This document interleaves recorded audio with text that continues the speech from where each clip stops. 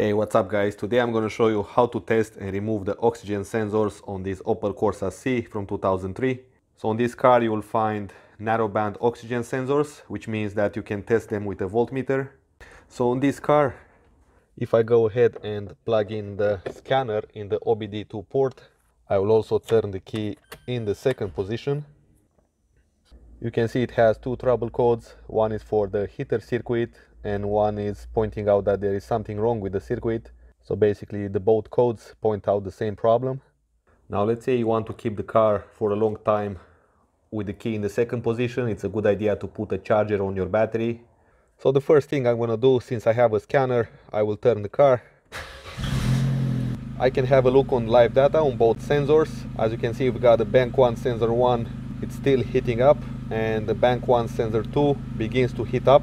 So based on this live data, you can see the sensor 2 is actually heating up faster compared to the sensor 1, which in reality should be the other way around because the sensor 1 is closer to the exhaust manifold.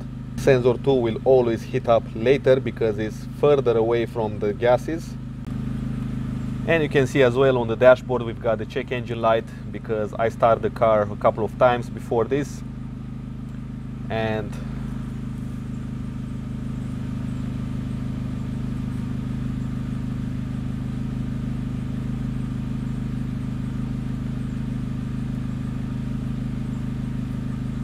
if for example you've got a pending code it will not.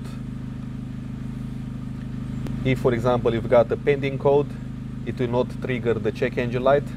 But on this time this one is confirmed which will always trigger the check engine light.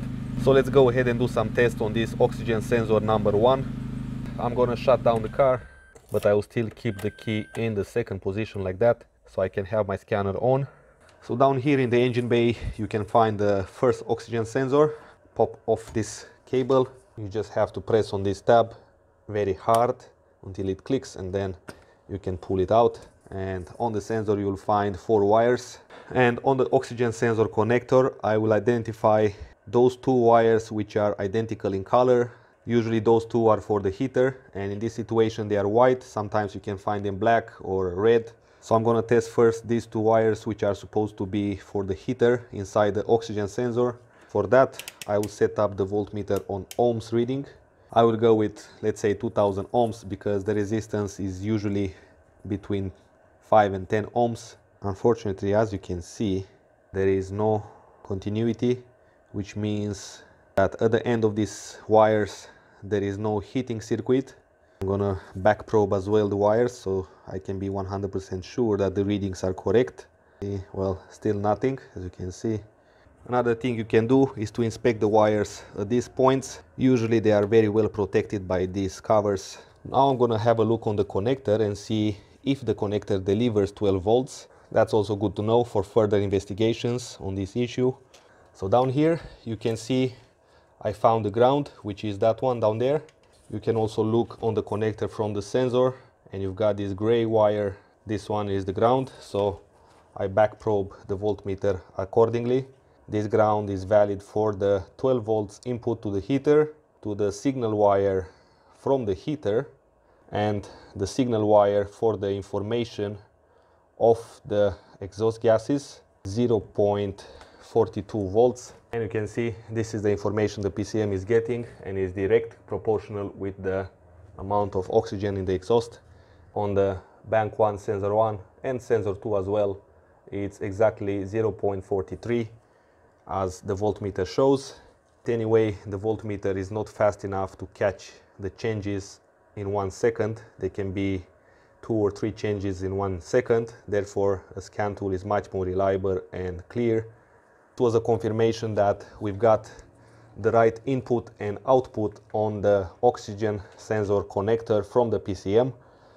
As a further procedure, I'm going to go ahead and use a oxygen sensor socket. Hold your socket very well in there and open it up. Make sure it's cool enough to touch it. One another thing you can do, if you suspect that the sensor 1 is broken, you can swap it with the sensor 2 while I wait for the exhaust manifold to cool down, I can show you another cool test you can do with the oxygen sensor 1. I'm gonna put the oxygen sensor on the support like that and I will plug it back in the connector. So I will back probe with the voltmeter, the ground and the signal wire for the information. So even though the heater circuit is bad, the oxygen sensor can still read values if you heat it up. So this is what I'm gonna do next. And you should be able to see an increase in reading and decrease as well. So let's see.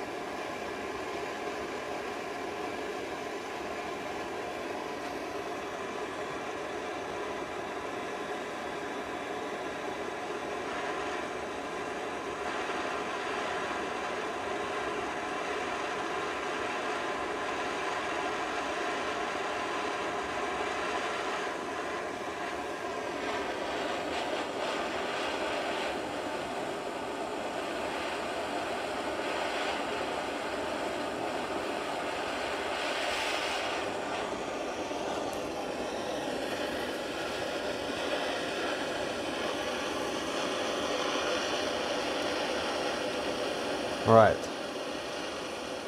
Right now the sensor is on the operating temperature and you can see it's reading rich. And now if I will blow on the oxygen now if I will blow on the oxygen sensor it will read lean you can see down there now is rich lean rich lean. I actually don't have to I actually don't have to I actually don't have to blow on the sensor. I just have to take out the blade. I just I actually so you don't need to blow on the sensor. You just take out the flame and the oxygen sensor will read lean. Lean. Rich lean. Rich lean rich so on the voltmeter you can see the changes put the flame on the voltage increases when I take it out it decreases when I put it on it increases to 1 volt take it out decreases. You can see you get the same signal on the voltmeter as on the scan tool. Now I will leave this sensor to cool down and I'm going to go under the car in order to remove the second sensor in most of the situations you'll have to remove the exhaust pipe in order to fit your breaker bar on the oxygen sensor and twist it out. You'll have to undo these 12 millimeter nuts. There are three of them in this triangle.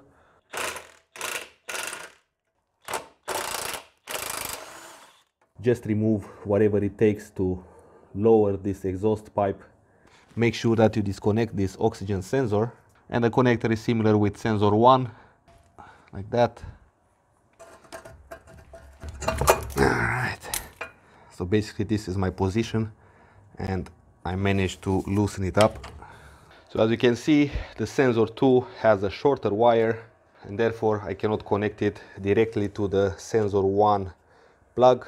I will show you how it should be on the heater line. And on the sensor you'll find two white wires. We've got 9 ohms which is within spec so this is how a healthy oxygen sensor should look like with the heater core in good working condition and the wiring accordingly as well. And I want to show you what I noticed here. Down here the wire is a little bit damaged. It's almost going through the plastic cover and going to the wire itself.